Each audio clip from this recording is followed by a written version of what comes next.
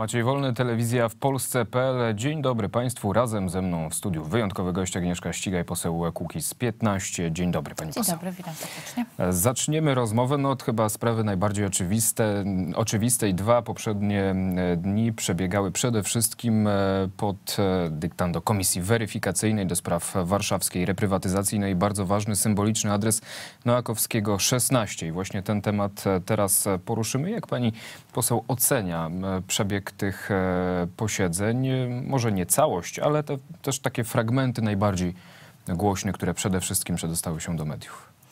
No nie mam e, też takiej możliwości, żeby cały czas śledzić te obrady, one są cały czas transmitowane, natomiast rzeczywiście y, to te fragmenty, które zdarza mi się zobaczyć, jeśli chodzi o wczorajsze przesłuchanie, wczorajsze przesłuchanie, no to mm, budzą wiele takich no, moich wątpliwości natury etycznej, moralnej. Jak się słucha wypowiedzi pana mm, męża, pani prezydent Gronkiewicz-Walc, no to rzeczywiście głównie zadaje się pytania, takie też jak zadają członkowie komisji weryfikacyjnej. Czy ktoś, czy, czy, pan, czy, czy pan Walc, czy pani prezydent nie, mie- nie mieli żadnych oporów takich natury etycznej, moralnej. Słyszymy zeznania lokatorów, bardzo takie emocjonujące, bardzo naprawdę wzruszające. Przez tyle lat przechodzili piekło. E, Zresztą to nie są pierwsze takie przesłuchania. Wiemy, że ta mm, cała afera reprywatyzacyjna, która nie jest tylko w Warszawie. Cały czas podkreślam, że tego typu sytuacji mamy do w całej Polsce. Jestem z Krakowa, więc tam podobne dramaty się e, e, rozgrywały. No, budzą takie właśnie pytania. Jest się politykiem. Pani Gronkiewicz-Walc jest politykiem. Jest wiceprzewodniczącą nadal cały czas ugrupowania, które miało bardzo duży wpływ na rządy w naszym państwie. I tak bezrefleksyjnie, bez żadnego mrugnięcia okiem potrafiono patrzeć na dramat tych ludzi, y, nic nie robiąc. Oczywiście, że możemy teraz mówić, że wina jest, że nie mamy ust- ustawy reprywatyzacyjnej. No nie mamy. No ale dlaczego nie mamy? No od 27 lat mamy tych samych polityków na No właśnie, to też wczoraj. Andrzej Walc, e, przesłuchiwany przez komisję, powiedział, że w zasadzie to wszyscy jesteśmy ofiarami braku ustawy reprywatyzacyjnej. No ale co to oznacza w praktyce? Że kiedy nie ma odpowiednich zapisów w prawie, to nawet możemy dokonywać rzeczy bardzo wątpliwych e, moralnie? Czy to Właśnie- daje przyzwolenie? No właśnie nie, no to jest po prostu takie pokazywanie to, że politycy Pla- Platformy Obywatelskiej, oni mieli taką łatwość, lekkość wykorzystywania tego, że nie ma czegoś w prawie, a to, że nie ma czegoś w prawie, przecież tak naprawdę zależało od nich. No przecież mieli możliwość, mieli władzę, mieli, mogli uchwalić taką ustawę. I teraz powoływanie się, że nie było czegoś w prawie, to ja mogę z tego korzystać, no to jest takie myślenie, byłem przy władzy, korzystam ile mogę, bo potem mogę odejść. No i mamy z tym do czynienia od 27 lat w Polsce. No tak niestety myśli klasa polityczna. No, yy, tego się nie da ukryć, bo tych afer jest wiele. To jest afera prywatyzacyjna, ale te wcześniejsze afery Amber Gold. To jest takie łapanie ile się da, bo akurat w tym momencie jesteśmy, mamy taką możliwość, możemy z tego czerpać. Nie stworzymy prawa, które to naprawia, no i będziemy dotąd trzepać, aż się da. I No rzeczywiście, w tej chwili amnezja polityków Prawa i Sprawiedliwości, ale amnezja tych, którzy uczestniczyli w tego typu mm, e, e, aferach i, i, i wszystkich, którzy mieli z tym e, do czynienia, no powoduje to, że mówimy, nie ma prawa, możemy z tego korzystać. Ciekawa ankieta pojawiła się na Twitterze Olivera Kubickiego, rzecznika Komisji Weryfikacyjnej do spraw dzikiej reprywatyzacji w Warszawie. Co powiedział Andrzej Walc, gdy dowiedział się, że spółka, która nabyła od jego rodziny zreprywatyzowane Noakowskiego 16, drastycznie podwyższyła czynsze lokatorom. I tutaj cytat, czyście zwariowali, robicie coś takiego, trzy kropki, no i pojawiają się pod spodem odpowiedzi właśnie na dwa tygodnie przed wyborami robicie coś takiego lokatorom e, i tak e, dalej. No ta pierwsza odpowiedź na dwa tygodnie przed wyborami niestety tutaj e, jest tą właściwą. No i właśnie pani poseł, bo to chyba świadczy też o tym moralnym podejściu do sprawy, o czym pani poseł przed chwilą mówiła, ale z tą moralnością jest chyba coraz gorzej, jeżeli chodzi o mm, środowiska, które chcą przede wszystkim dbać o swój interes, a może tej moralności w takich środowiskach w ogóle nie ma. W obecnej polityce mówi się głównie o tym, że ktoś jest, po, powinien być głośny, powinien e, dobrze się wypowiadać, powinien fajnie wyglądać w mediach, powinien być przebojowy e, i wykazać się sprytem, jak ogrywać swoich przeciwników. Nie mówi się o takich rzeczach jak moralność, jak etyczność, jak podejście odpowiedzialne wobec tych, którzy nas wybrali, e, jak coś, co kiedyś przed wojną było nazywane mianem inteligencji, czyli ludzi, którzy przede wszystkim nie dbają tylko o siebie, ale przede wszystkim dbają o tych, dla których których zostali powołani, którym mają służyć. No tego w ogóle nie ma, o tym się nie mówi. To nie są cechy, których teraz e, wymaga się od polityków. E, nie sprawdza się ich przyszłości, nie sprawdza się ich dokonań, tylko i wyłącznie kreuje się pewną postać medialną. Mamy do czynienia z bardzo dużo taką ilością polityków. Polityczny. PR. Dokładnie. I to jest teraz pokłosie tego. Mm, Przede wszystkim wynika z tego, że obywatele nie mają szansy weryfikować swoich reprezentantów. Weryfikują je szefowie partii i rzeczywiście oni weryfikują mi poprzez takie korzyści, jakie ta osoba może przynieść partii, a nie swoim wyborcom.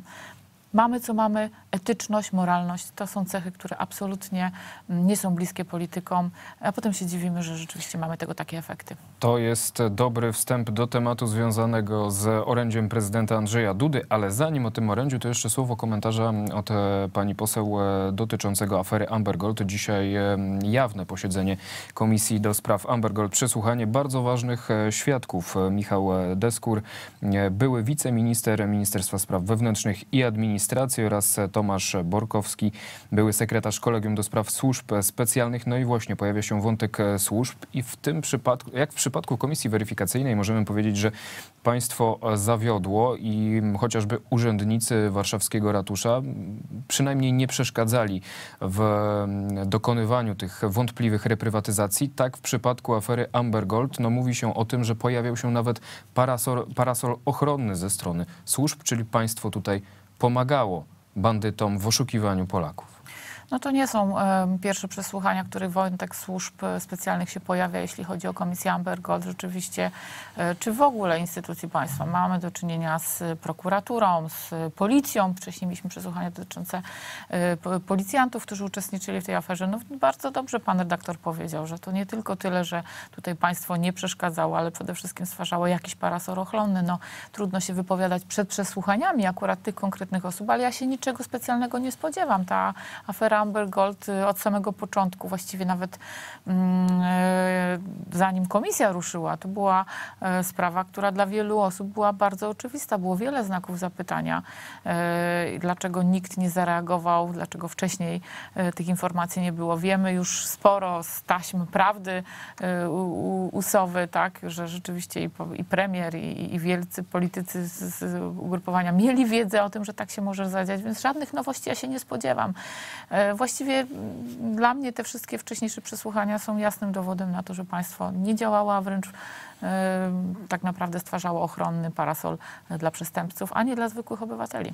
No właśnie, a prezydent Andrzej Duda mówił wczoraj, że Polska nie jest niczyją własnością, Polska nie jest nawet własnością naszą, naszego pokolenia. Jesteśmy jej wybrańcami, jej sługami i opiekunami. Polska wiecznie młoda i zniewalająco piękna, groźna, ale i pełna majestatu wciąż budzi w nas nowe siły i zdolności, dumę i odwagę.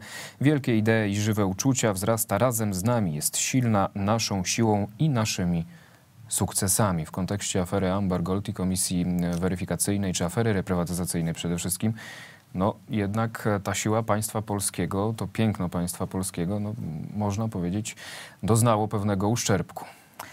No ja bym się tutaj pokusiła o pewne mm, jeszcze uzupełnienie słów, bardzo zacnych słów pana prezydenta. Polska jest własnością, jest własnością Polaków, tych, którzy kiedyś o nią walczyli, tych, którzy żyją teraz i tych, którzy będą żyć w przyszłości. I rzeczywiście to Polacy jako naród, suweren wybiera swoich reprezentantów wybiera swoich reprezentantów i tutaj jest kontynuacja myśli pana prezydenta, którzy przede wszystkim idą tam służyć. Idą służyć rzeczywiście dla przyszłych pokoleń i uważam, że tworzenie prawa teraz w parlamencie to jest tworzenie prawa dla przyszłych pokoleń, które niezależnie czy będzie rządzić Platforma, czy będzie rządzić Prawo i Sprawiedliwość, w odniesieniu do tych dwóch klanów, które pan prezydent też mocno wspomniał mm, w swoim wystąpieniu, my mamy podejmować y, i doprowadzać do rozwiązań prawnych, które im stworzą możliwość taką, aby mogli tutaj funkcjonować, aby wrócili z emigracji, aby zakładali tutaj rodziny, dbali i kochali ten kraj, za który wiele wcześniejszych pokoleń przelewało krew.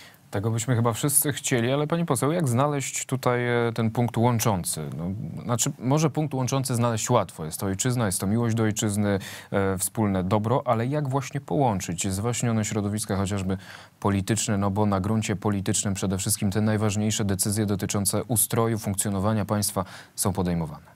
Ja bym się nie skupiała na łączeniu tych środowisk. Ja bym się skupiła na tym, aby przekonać obywateli, że oni teraz mają ten moment, których mogą odsunąć ich od władzy. Ci ludzie, którzy tam kreują e, obecne ugrupowania polityczne, to są ludzie, którzy niezmiennie od dwudziestu paru lat są na scenie politycznej, którzy przy okrągłym stole zawarli pewien pakt, na który, e, którego teraz ponosimy konsekwencje, którzy nie przeprowadzili odpowiedniej dekomunizacji. To są ludzie, którzy w tej chwili są po dwóch stronach barykady, ale tak naprawdę e, nawet jeżeli po słusznej stronie wszyscy mają pewne znamiona starego systemu mm, i myślą y, w, w kategoriach tego systemu. Więc jeżeli chcemy coś zostawić przyszłym pokoleniom, to musimy im wreszcie oddać możliwość decydowania o tym państwie polskim. Stąd nasze postulaty zmiany konstytucji, jak i również pana prezydenta, więc bardzo dobrze rozumiemy się tu z panem prezydentem, dlatego że ta konstytucja to ma być nowa umowa, nowa umowa społeczna między obywatelami, przyszłymi pokoleniami, młodymi ludźmi, y, a władzą, jaka by ona nie była. I tutaj jest moment, odsuńmy wreszcie te osoby, które psują to państwo, dzielą ludzi na pół y, od władzy i dajmy szansę młodym pokoleniom. Wierzy pani poseł w to, że pojawi się nowa konstytucja? Y, gdybym nie wierzyła, to nie byłabym w Sejmie, dlatego że jestem z ruchu konstytucyjnego. Ja właśnie e, wiem, że to jest jedyne rozwiązanie tych wszystkich problemów i zaprzestanie dzielenia Polaków. E, więc mam nadzieję, oczywiście konstytucja to nie jest umowa, która powstanie e, prawdopodobnie w tej kadencji, nie ma na to szansy, ale my też myślimy odpowiedzialnie i wiemy, że korzystając z tego, że jesteśmy, że mogę być u pana redaktora, że mogę być w innych programach, staram się mówić ludziom, gdzie jest problem i prowadzić taką edukację obywatelską metodami demokratycznymi, demokratycznymi ludzie mają taką siłę w Polsce, zmienią konstytucję. No właśnie, jak, jak ważna jest edukacja e, obywatelska, ale też edukacja o tym, e, nad czym rząd pracuje, ale nie tylko rząd, nad każdymi projektami ustaw, które się pojawiają, bo mamy tutaj e, kontekst przede wszystkim ustaw o Sądzie Najwyższym, Krajowej Radzie Sądownictwa, czy chociażby zmian w ordynacji wyborczej. No z jednej strony pojawiają się różne hasła odnoszące się do różnych zapisów e, z tych ustaw. E, myślę, że tak jak ja, tak e, część obywateli nie do końca też rozumie, co będą te hasła oznaczały w praktyce, jak to w praktyce będzie funkcjonowało. No a w końcu pojawiają się takie slogany, które oddziałują przede wszystkim na emocje społeczne. No i takie chyba są najbardziej popularne, czyli zawłaszczenie sądów, zagrożenie dla Trybunału Konstytucyjnego, tak tak. Pani poseł, jak edukować właśnie mm, społeczeństwo? W, jakim, w jaki sposób przekazywać informacje na temat mm, odpowiednich zapisów i funkcjonowania ustaw w praktyce, do osób, które są najbardziej tym zainteresowane, no czyli społeczeństwa. No właśnie, największym grzechem, e, panie redaktorze, jest to, że rzeczywiście władze ani politycy nie skupiają się na edukacji i nie, zaczyna, nie szukają kontaktu z swoimi wyborcami, nie tłumaczą im tych trudnych spraw, bo przecież prawo jest trudne, e, tylko e, skupiają się na emocjach, akcjach billboardowych, które e, powodują jedno. Ludzie łatwo, łatwo jest nimi sterować, kiedy mają włączone emocje, bo wyłączają argumenty logiczne. I jedynym rozwiązaniem jest to, co jakby ja staram się przynajmniej w swojej pracy poselskiej robić. Staram się spotykać z ludźmi, z młodzieżą w swoich okręgach. Bardzo dużo spotkań otwartych robię. Tłumaczę ustawy, rozmawiam e, na temat konkretnych rozwiązań, odpowiadam na pytania. Sprawy o sądzie, ustawy o sądzie, to są naprawdę trudne sprawy. To na przeciętna wiedza, yy, która nawet nabywamy w szkole, nawet podczas studiów nie sięga aż tak głęboko, żebyśmy rozumieli wszystkie zapisy 100-200 stronicowych ustaw. Więc naszym zadaniem, e, rolą posła jest to, aby rzeczywiście tłumaczyć e, rzetelnie obywatelom i odpowiadać na pytania, a nie robić akcji happeningowych, e, akcji billboardowych, które tylko i wyłącznie ustawiają ludzi po której stronie, którzy się ustawiają na przykładzie emocji, a nie tego, że rozumieją o czym, dlaczego się kłócą między sobą na przykład. A jakby pani poseł wytłumaczyła wniosek o wotum nieufności dla rządu premier Beaty Szydło? No to jest istny happening, to jest już nie pierwszy, ale któryś raz z kolei. No happening, no co ma wnieść w debatę publiczną, jaką edukację ma przeprowadzić e, tego typu wniosek, e, który rzeczywiście pozwoli tylko na jedno, żebyśmy, żeby kolejni politycy Platformy Obywatelskiej mogli się popisywać na mównicy swoimi bomotami albo ułożonymi dobrze przekazami PR-owymi, które później będą cytowane w mediach i ludzie będą znowu emocjonalnie podchodzić do sprawy. No oczywiście z drugiej strony pojawią się znowu podobne wystąpienia z Prawa i Sprawiedliwości, które będzie przekonywać o swojej większości.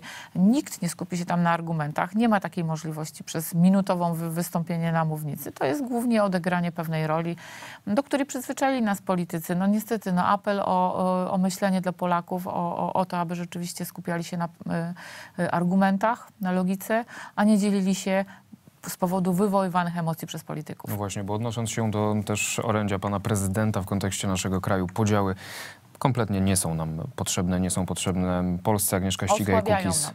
15. Bardzo serdecznie dziękuję. Dziękuję. za rozmowę. Drodzy Państwo, wracamy tuż po przerwie. Wątek związany z rekonstrukcją rządu, z wotum nieufności dla rządu premier Beaty Szydło pojawi się jeszcze w naszym e, programie. Porozmawiam o tym między innymi z profesorem Kazimierzem Kikiem, a tuż po przerwie przeniesiemy się na posiedzenie e, Komisji Śledczej, Sejmowej Komisji Śledczej, która zajmuje się aferą Amber Gold.